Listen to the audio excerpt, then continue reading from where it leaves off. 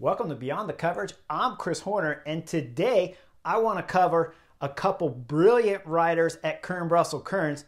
One semi knucklehead, one big time knucklehead, one spicy taco, and one Patrick Lefevere who's completely lost it again. And you know this is going to be a good show because I'm literally between Saturn and Mercury, so it's going to be out of this world. Now, let's get into Kern Brussels Kerns because this is an exciting race, just under 200 kilometers and about 13 big obstacles that are going to blow the race up here at Kern Brussels Kerns. But remember, the last of the climbs and the cobbles really comes with about 50 kilometers before the finish of Kern Brussels Kerns. So if you're a really strong team like Jumbo Visma without a pure field sprinter, you want to blow this race up, okay? You want to make this race as hard as you possibly can. And in the interview with Taco van der Hoorn, the spicy kid from Intermarché, he says that Jumbo Visma is going to blow the race up and Quickstep won an easy race.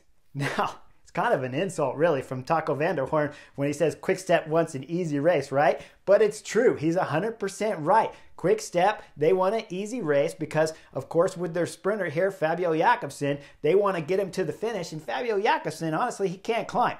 Now, these aren't super big bergs, and like I said, the last 50 kilometers or so are flat going in the finish. So, if you can get him over the first 150 kilometers of today's stage, he can possibly win the race, right? It's on the resume of quick step riders in the past, fast guys, we know that. So, when the racing starts, Cameras come on, 97 kilometers to go. Jumbo Visma's all over front, and they got one UAE Team Emirates guy in the front riding with Jumbo Visma. UAE Team Emirates, what are you doing at this point in time? Helping Jumbo Visma riding hard on the front. You don't have to do it. They got seven guys lined up on the front. They're blowing the field up. UAE Team Emirates want to jump in just to give a little bit of love so that they can say they did some help up there to keep Jumbo Visma completely fresh for the big climbs that are just about to start so they can blow everything up. That's what I see out of UAE Team Emirates on the front. Now, behind there's a massive crash. Lots of guys are going down. Five Alpecin riders back there, Alpecin Deceuninck guys down, and of course it's their sprinter down there, their big time favorite here, Jasper Philipsen. So with that in mind, that's going to take out a big team that would be there to help a team like Quickstep make it a field sprint, a team like Lotto Dstny with Arnold De Lie that would like a field sprint in today's race. So that is big time hit there for a team like Lotto Soudal, Lotto Dstny with Arnold De Lie. And then the other teams, we got four quick step guys back there too. So now you got two big teams out of three that want a field sprint gone. Now you go back up to the front. Jumbo Visma's up there. They're drilling it. They're not getting a whole lot of help up there, but I did see Bahrain Victorious on the front, and Lotto was on the front riding a little bit too hard. I got to remind the Lotto guys, you got a field sprinter. You don't have to make it hard. Just back off a little bit and make it as easy as you possibly can in between all the climbs, and just get Arnold De Lie to the front before the climbs start. Eventually, they'll come off, and then it's the full Jumbo Visma show. Now we're into it at about 83, 87 kilometers to go, and this is when the climb starts. Jumbo Visma is going to blow it up into the climb. They got three riders going up the front. Jan Tratnik's there, Tiesj Benoot's there, and Nathan Van Hooydonck's there. We see the split in the right in the middle as the train for Jumbo Visma went into this climb, and they just sat up, split, and these three riders are going off the front. Now, Mate Mohoric, Bahrain Victorious, he sees the gap. He's starting to try to close it. Tim Wellens, same thing. He's just right behind Mate Mohoric. And then there it is. Peter Sagan, total energies throwing in, and he's trying to close the gap too. They're bridging up to the original breakaway of about six riders up there. Not super, super important to know all six, but keep in mind, Daniel Oss, total energies up there. And Taco van der the spicy taco, he is riding on stellar form. Keep an eye on those two riders as this group starts coming up to the original break. Now we're going to have 11 guys coming into this move, but I want to show you a brilliant tactical move by Daniel Oss. Remember UAE Tour, the last stage, it was Michael Hessmann that saw Adam Yates coming, Remco Evenepoel, and saw his teammate Sepp Kuss back there hanging on for dear life. What did I tell you Hessmann did? He went to the front and drilled it, and what did I tell you he shouldn't do? Don't drill it unless you see Sepp Kuss give you the nod. He didn't get the nod from Sepp Kuss. Up here, now you look at Daniel Oss. He's looking back over his shoulder. He knows his number one guy that he's been looking after for years, Peter Sagan's coming up in this group. And does he drill it? No, he doesn't drill it because he doesn't have to. There's three Jumbo Visma riders in there. And he knows Peter Sagan's not at 100%. even though he sees Peter Sagan in that group, he knows because they're roommates, they're friends, they've been riding together for years. And of course, he's over 30 years old, so he's got a little bit of experience. So he knows not to get on the front and drill it like Michael Hessmann did uh, at the last stage of UAE Tour. Now, with that in mind, we got about 11 guys up here. Jan Tratnik's on the front drilling it. We see Oss there, and Oss is just sitting second wheel. Couple little splits from here and there, but for the most part, these 11 guys stay together under the force of Jan Tratnik on the front pulling it. Now, we go into the next climb that's coming up just around 80 kilometers all of a sudden we see it's Tim Wellens, UAE team member, that throws a massive attack going up the cobblestone climb behind Mate Mohoric is trying to close the gap full gas. Now, Tim Wellens, do I like this move? Mm, I'm not big time in favor of it, but he's trying to make the group a little bit smaller. Not against it, but you need to know if you're Tim Wellens, when you're going hard up this climb, you don't got to go any harder than what maybe the Jumbo Visma guy Benoot behind you can do, or what, of course, Nathan Van Hooydonck can do because there's no way you're going 75 kilometers from the top of this climb all the way to the finish without a Jumbo Visma guy, right? Remember, it was seven Jumbo, Jumbo Visma guys that split this group, and they had three in the last group. So let's say Tim Wellens is going full gas 100% over the top. He's basically just wasting a little bit of energy. The attack, I don't mind so much because it'll split the group up and make it a little bit smaller. You get rid of Peter Sagan, Jan Tratnik dropped, Oss dropped out of this group. A couple of the guys from the early breakaway dropped. But when we look at the guys chasing, Mate Mohoric is chasing with Tiesj Benoot on his wheel, and Taco van der is surviving. Let me remind you guys, the spicy taco was in the early break, and he's still there following Mohoric coming up this climb. Now, Mohoric, I got to ask you, I'm not, like I said, I'm not against Tim Wellens' move, maybe just a little too much effort, could have done a little bit less, but I'm just being picky. But Mate Mohoric, are you doing? Boy, look back behind you and see who's on your wheel. Is that not a yellow jersey? You know why they make the, the jersey yellow at the Tour de France? Because it stands out bright. Now, Mate Mohoric, if you look back, you see it's a Jumbo Visma guy sitting on your wheel. Just back up and go behind him. Let Benoot close the gap. Let him use his energy. Let Jumbo Visma close the gap up to Tim Wellens. But no, Mate Mohoric going full gas up there, pulling Benoot only to get up to Tim Wellens now you got four guys up there. But guess what? Nathan Van Hooydonck, he missed the move and he's chasing back there. So in this group of four, you know Benoot's not going to work. It's obvious, right? His teammates chasing from behind. So of course the other three are going to have to back up, back off the gas. So it was wasted energy for Tim Wellens a little bit. Not not big, big wasted energy, but certainly a lot of wasted energy for Mate Mohoric when he could have just followed the Jumbo Visma wheels all the way up to Tim Wellens, who had to wait for those guys because it's 75 kilometers to go. Now we go back to the peloton. We'll see on the front. Lotto Dstny's back there chasing, trying to close his gap because they have probably one of the number one favorites in Arnold De Lie. And Quick Step's back there, but remember, they got a reduced field because when the cameras came on, they lost four riders back there. No Alpecin Deceuninck helping on the front because they lost at least five during that early crash here at Kern Brussels Current. Now, with Lotto on the front, they're wasting some energy, but they got to bring this back. They only got one guy on the front, and he's going to start riding the front for a long time without much help from the other teams back there. So, this group of five up front after Nathan Van Hooydonck bridged back up because they waited for him. This group of five, they're just doing some tempo up there, keeping in the gap. It's one minute, starts going 115, 120, 130. They'll get up to about a minute and 45 before the peloton behind finally get their act together and start chasing because Quick Step I like the idea that you give the gap up to these guys a little bit bigger and then start chasing, but they waited just a little bit too long. Now we see the gap at about minute 45 when they start chasing. They'll start to bring it back down. But the guys up front, there's some talent up there with Taco van der Hoorn being the only rider, intelligent rider up there not to be pulling right away. He's sitting on the back, which means there's four guys up there going hard.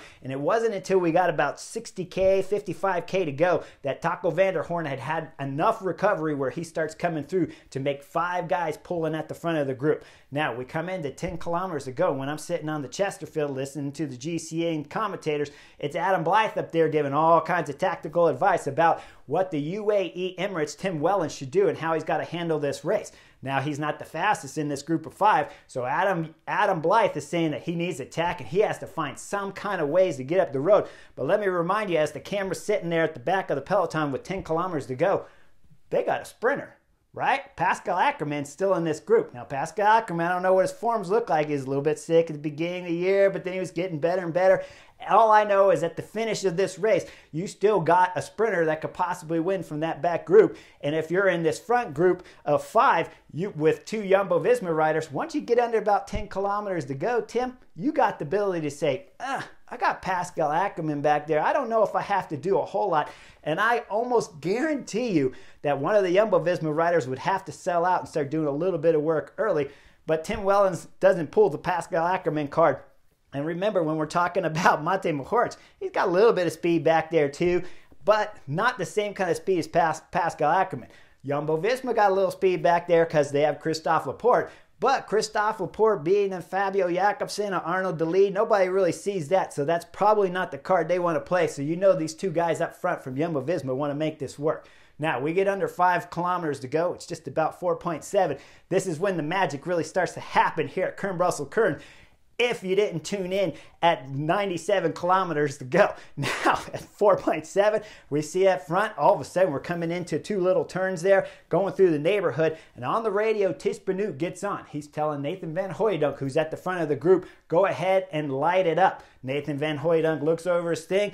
Of course, he understands it because it's coming through the radio, so he lights it up. Tim Wellens opens the gap just a little bit. Now Tim Wellens is going to have to start chasing. And guess what's happening behind? Taco van der Hoorn, the spicy taco. He knows what's happening as he sees Benoot opening up the gap to Tim Wellens. Taco van der Hoorn comes flying by on the right side. But Mate Mohoric can't figure out what's happening. So he thinks he's going to slot on the wheel of Tiesj Benoot. And of course, Tiesj Benoot just opens up the gap. So now you got everybody chasing everybody. Tim Wellens will close up on the Nathan Van Hooydonck. Taco van der Hoorn will close up, and Mate Mohoric has to do a big, big acceleration to close up on this gap. Now we start seeing one of the first big mistakes from Tim Wellens as he closed up to Nathan Van Hooydonck because he's going to open up the gap to Nathan Van Hooydonck. Tim Wellens, what are you doing? You're sitting on the Jumbo Visma rider's wheel and you just sit up and let Nathan Van Hooydonck right away. What do you think's going to happen? Nathan Van Hooydonck sees it, lights it up on the pedals, and Tim Wellens, he's going to ride over and he's going to look over to the right side over there at Mate Mohoric and flip his hand down and be like, you have to close that, Mate. So Mate closes it. It's a big effort from everyone because because Tim Wellens was knucklehead and opened the gap up to begin with. Now, what's really funny, the next attack is absolutely brilliant because it's the same attack as the very first one from Mate Mohoric that he starts making mistakes. He's up there on the wheel of Nathan Van Hooydonck and he's going to let that wheel open up and then he's going to slot all the way back again behind Tiesj Benoot. And what's Tiesj Benoot going to do? Tiesj Benoot's going to let off the gas, open the gap, and within six, seven hundred meters, it's an identical scenario for Mate Mohoric, who's sitting last wheel as all the gaps are open up in front of him, because of course Tiesj Benoot's not going to close it. So Mate Mohoric has to do another big time dig to close the gap. Now it all comes back together again, and there's attacks all over the place, so I'm going to miss a few coming into the end here. But the next rider to put in attacks is going to be Benoot. That move's going to get brought back, and it was really, again, just let open by Tim Wellens and of course Mate Mohoric. So after that move gets brought back, now we start getting a little bit closer to the finish line here. And again, it's mistake after mistake that's happening. As we come up to 2.9 kilometers to go, Nathan Van Hooydonck throws in another dig. That gap was just again allowed to open up, and now everybody's chasing full gas. It comes back together. Mate Mohoric is at the front. He doesn't want to be at the front sitting on a Jumbo Visma rider's wheel. He wants to be last. So for some reason, Mate Mohoric wants to go from second wheel on a Jumbo Visma rider's wheel, which I can't imagine any better place to be than on Nathan Van Hooydonck's wheel. That's first Jumbo rider or any place else you want to be at this point in time in the galaxy because that's got to be the best spot to be, right? So, of course, Mate Mohoric's got different plans. So he's going to back off. He's going to make Tim Wellens close the gap. He's going to make Tiesj Benoot close the gap. And now, for some reason, Mate Mohoric wants to pick on Taco van der Hoorn. He looks over his shoulder and he's like, No, you got to close the gap. He gives the chicken arm out there to Taco van der Hoorn. Let me remind you guys sitting at home on the Chesterfield, Taco van der Hoorn's been in the break all day. Mate Mohoric, the last guy you need to be worried about when there's two Jumbo Visma guys in front of you is a guy that is spicy and diced up like Taco van der Hoorn is at this point in time because, man, he has got to be on the edge of his saddle right now with how much work he's done here at Kuurne Brussels Koerns. With that in mind, once Taco van der Hoorn comes across, what happens? Well, Mate Mohoric opened up the gap big time, right? When you will look at the back wheel there, Tiesj Benoot, Mate, Taco van der Hoorn's trying to close the gap. It's full gap.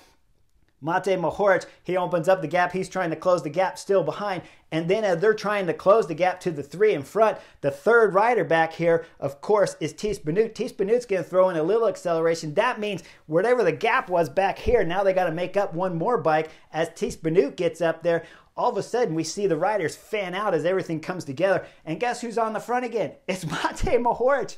On his wheel is Nathan Van Hooydonck. So he went from first place all the way to back, giving the chicken arms, closed off some more gaps, got back up to first wheel with Nathan Van Hooydonck on your wheel. Man, you went from being on a Jumbo Visma rider's wheel to chasing like crazy to now being in the front of the win again. So, of course, the next big attack's going to come from Nathan Van Hooydonck. He goes straight past Mate Mohoric. What does Mohoric do? He swings all the way to the right side of the road for some reason. I know what it is. He wants Tim Wellens to close the gap, but why? You had Nathan Van Hooydonck's wheel and you let it go. Now Tim Wellens throws back all the way to the right side of the road. Mate Mohoric swings all the way to the right, but now he's chasing. It's a big time hard chase to just about one kilometer to go when it all comes back together.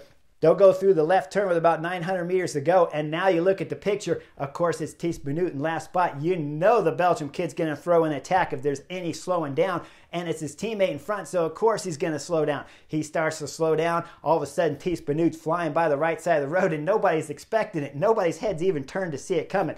Now, as Tiesj Benoot goes flying by, it's Tim Wellens that comes from second wheel off of Nathan Van Hooydonck's wheel to try to close the gap. Mate Mohoric is flying up on the left side of Nathan Van Hooydonck. And guess what he does? He doesn't close up on the Tim Wellens wheel, who's trying to chase down Tiesj Benoot. Instead, he backs off the throttle and goes behind Nathan Van Hooydonck's wheel. What are you going to do behind Nathan Van Hooydonck's wheel? It's six, 700 meters before the line. Tiesj Benoot now has been going two or three. He's at about 500 meters, so he's pulled solid. He's done his work. You know he's going to pull off. And guess who's sitting second wheel? It's Nathan Van Hooydonck. He's not going to come through when it's Tiesj Benoot, his teammate, going solo up the road. So Mate Mohoric just gave away the victory here all the way to the line. As we see Tiesj Benoot now, he knows he's going to win. He sits up, celebrates coming across the line to be the first Belgian rider to win here at Kuurne Brussels Koerns. And I think the I think the commentator said about 10 years, but you guys can do the math on that one yourself. Either way, Tiesj Benoot takes a big time, his first victory in Belgium for his professional career. And Tiesj Benoot doesn't win that often because he doesn't really have fast legs. Impressive rider, but not very fast legs. But today, tactically brilliant between Nathan Van Hooydonck and Tiesj Benoot. Now, behind in the sprint, what happened? Nathan Van Hooydonck controlled everybody until he knew he got close enough to the line where no one could catch his teammate up the front that was crossing the line. He threw in a big time acceleration. Taco van der Hoorn's up there, and then behind him, Mate Mohoric. It comes by Taco van der Hoorn. Nathan Van Hooydonck holds on for second on the stage. Mate Mohoric, who was racing for podium, not for the win today at Kuurne Brussels will get himself a podium behind Taco van der Hoorn. Man, you are spicy all day putting on a display in the early break and here with the group of favorites to get fourth on the stage. Tim Wellens comes across for UAE Team Emirates fifth. And when we look at the field sprint behind, Christophe Laporte Jumbo Visma actually wins the field sprint here against some quality sprinters. But don't get carried away because remember, they're racing for six here. They're not racing for the win. Arnold De Lie comes through just on Christophe Laporte's wheel for seventh on the stage. Great job, Arnold De Lie from Lotto Soudal, who put on a big time show. Afterwards, Arnaud De Lie gave an interview, was a bit upset at all the other teams, and I got to agree with you. Quick Step helped out a little bit here and there, but didn't do enough. FDJ didn't do enough. Trek Segafredo had three riders up there and didn't do anything at the front, so they failed. But the interview I really want to focus on is Mate Mohoric. Mohoric talked about the mistake they did in Omloop Het Nieuwsblad on Saturday talking about having Jonathan Milan up there and how they didn't know that they were there with Dylan van Baarle. But how can you not know? Your teammate's up there, he's got a radio. If your teammate's up there and pulling with Dylan van Baarle, that's a huge mistake. And he pulled for 10 kilometers, then got dropped and pulled in nowhere land for 10 kilometers while Bahrain Victorious was back there not pulling at all. Knuckleheads on Saturdays, big time knuckleheads here at Kuurne Brussels Koerns on Sunday. And Mate Mohoric, I, I agree with you saying that Jumbo Visma can still get beat. Because remember, even here at the first two classics of the weekend here up in Belgium, it's still a bit watered down. Once we start getting into next weekend's races, the big time races when we're talking about Strade Bianche and we're talking about Paris Tirreno Adriatico, it'll be less watered down. It'll be much more quality field. Now, it's always a little bit watered down until you're talking about July or you're talking about April at the Cobblestone Classics or of the Basque Country. Those are the only races races during the season where it's never watered down. You get the best quality fields, period. But when you're talking Strade Bianche and you're talking about these classics coming up, Jumbo Visma are going to have their hands full when we start talking about Matthew van der Poel showing up, but Wout Van Aert's going to come into play too. So they got some more firepower left to hold. Remember though, today's race, big time mistakes were made by Mate Mohoric. Now, when we're talking about Patrick Lefevere and Knucklehead blaming your teammates, blaming your riders on, on today's Kern Brussels Currents, because the fact of the matter is, you sent the talent all over the place, right? UAE Tour, you had Remco Evenepoel down there, Bert van Lerberghe's down there, Tim Merlier's down there. When you're talking about the Frenchman, the two-time road world champion, Julian Alaphilippe, he was at Faun Ardèche. So Quickstep had a watered down field here. I don't like the comments by Patrick Lefevere blaming all the riders here. Man, you're the captain of the ship. If you wanted to win up here at the Classics, bring a better team. If not, be happy with the win at UAE Tour and at the French Cup race. There's no reason to be complaining. They had bad luck. Four guys went down in the crash. Okay, they weren't super at the front, but they were close enough to make me satisfied with it. And when you look at some of the tactics, I probably blame the quick step director for just not putting the two riders out of the three that they had left in the group to work with Lotto Soudal right away. And I'd agree with Arnold Lee that it was too late to make that make the break, to make the effort from the group behind efficient and they just waited too long. So Patrick Lefevere, you're a knucklehead, and you better not make those ridiculous comments about Julian Alaphilippe because he's the one guy you can count on here, along with Remco Evenepoel. And last time I checked at the UA Tour, Remco Evenepoel himself said he was alone coming up the last climb. So you better keep Julian Alaphilippe and be happy with him. Sign that boy up. That's my take here on Beyond the Coverage. Hope you guys liked and enjoyed all the knuckleheads out there. The spicy taco, Jumbo Visma riding aggressive and looked fantastic with their tactics. Tim Wellens, eh, you could do a little bit better when you just open up some ridiculous gaps up there to Jumbo Visma riders and Mate Mohoric. I've never seen so many mistakes in such a short period of time in my entire professional career. You are a knucklehead. Like and subscribe, and I'll see you at the next edition real soon.